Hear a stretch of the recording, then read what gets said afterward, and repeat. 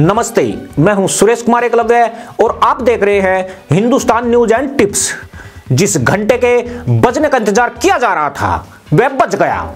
कल तक हीरा मंडी जैसे रमणीक स्थलों पर घुंघरू डांस करते पाकिस्तानियों के अंधेरे में तोते उड़ने की नौबत आन पड़ी है। Pakistan electronic media regulatory authority यानी पेमरा ने इमरान लोडे से पावर इमरजेंसी की गुहार लगाई है, जिसका मतलब है पाकिस्तान जल्दी ही अंधेरे में डूबने जा रहा है। पाकिस्तान में यह भी बेहतर साल में पहली बार होगा। वह भी इमरान के तब्दीली वाले पाकिस्तान में। मगर इमरान ने कह दिया है, घबराना नहीं। लेकिन स्थिति यह है कि पूरे पाकिस्तान के उद्योगपतियों, छोटे कारोबारियों और आम जनता में घबराहट मची है। बिजली कंपनियों की हालत यह है कि उन्होंने बोल दिया है, अगर जल्दी पैसे का प्रबंध नहीं हुआ तो उत्पादन इकाइयाँ बंद करनी पड़ेगी। यानी भारत को कश्मीर सौंपने के बाद अब पाकिस्तान को एक और बड़े चैलेंज का सामना करना पड़ेगा। दरअसल पाकिस्तान की बिजली कंपनियों के पास इतना पैसा ही नहीं बचा है कि वे अपना खर्च चला सके। इन कंपनियों पर कर्जा बढ़कर 2000 अरब रुपए हो गया है, जिसमें हर महीने इकतालीस अरब रुपए महीना का इजाफा हो रहा है। बहत्तर साल के कर्ज बढ़कर दुगने हो चुके हैं।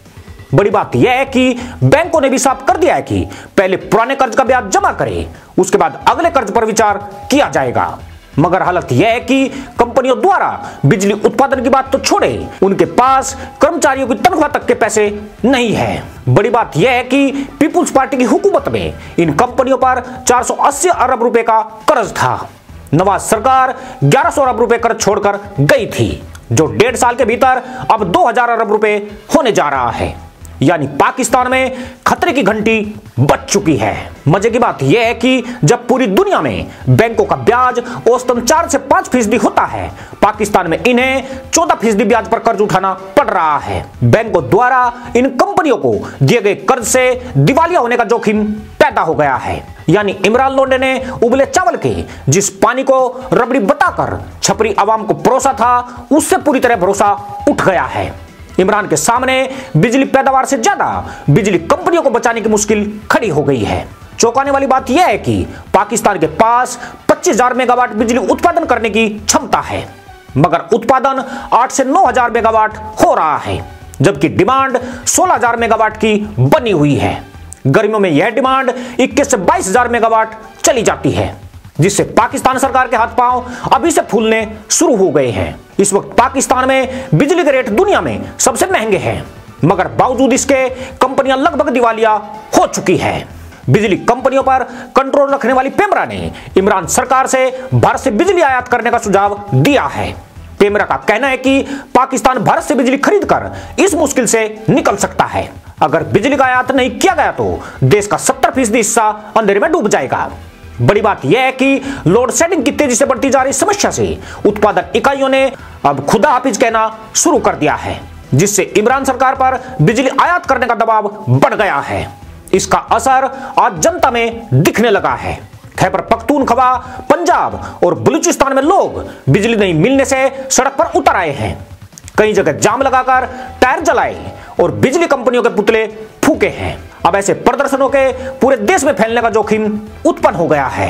बिजली संकट से जूझते पाकिस्तान को लगता है कि भारत से बिजली खरीदकर देश को मुश्किल से निकाला जा सकता है। इसलिए बैकडोर डिप्लोमेसी के माध्यम से इस पर भारत से बात की जा रही है। आज ही पाकिस्तान के कृषि मंत्री और भारत के कृषि मंत्री की टिड्डी समस्या पर एक वीडियो कॉन्फ्रेंस हुई है। संभवतः पाकिस्तान अपनी फटी में भारत से संबंध सामान्य करने का प्रयास कर रहा है। वैसे वर्ष 2014 में पाकिस्तान द्वारा भारत से बिजली खरीदने की बात उठी थी, जिसमें दोनों देशों के अधिकारियों ने एक एमओयू पर हस्ताक्षर कर मंजूरी दी थी। लेकिन पारेषण लाइन नहीं होने के चलते इसमें विलंब हुआ था। भारत ने उस वक्त पाकिस्तान को 500 से 1200 मेगावाट बिजली बेचने का आश्वासन दिया था। जबकि इस वक्त भारत दो से ढाई हज़ार मेगावाट अतिरिक्त बिजली पाकिस्तान को बेच सकता है। पर पाकिस्तान की दिक्कत यह है कि उसके खजाने में इतने डॉलर ही नहीं बचे हैं जो वह आयतित बिजली का खर्च उठा सके। उसे सरकार का खर्च चलाने तक के लिए मोटे सूद पर कर्ज उठाना पड़ रहा है। 111 अरब डॉलर के भारी भरकम कर्ज तले दबी पाक सरकार के लिए बिजली इकाइयों को बंद करने के अलावा दूसरा विकल्प नहीं बचने वाला है। पर बावजूद इसके भारत से संपर्क स्थापित किए जा रहे हैं। यानी अनाज, दाल, सब्जियों, दवाइयों के बाद अब इस मदरसा छाप मुल्क में दिया भी भारत की बदौलत जलेगा।